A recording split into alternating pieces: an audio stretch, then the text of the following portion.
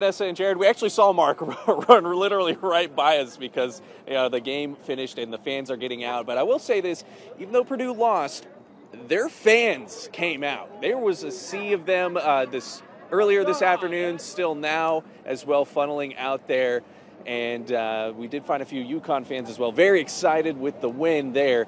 And earlier this afternoon, people were actually tailgating before the game, and even when the game started there were still a bunch of cars arriving and people sprinting to get inside to watch the match. But as we mentioned, UConn won, and we did find two fans who did not know each other, but this win sort of brought them together.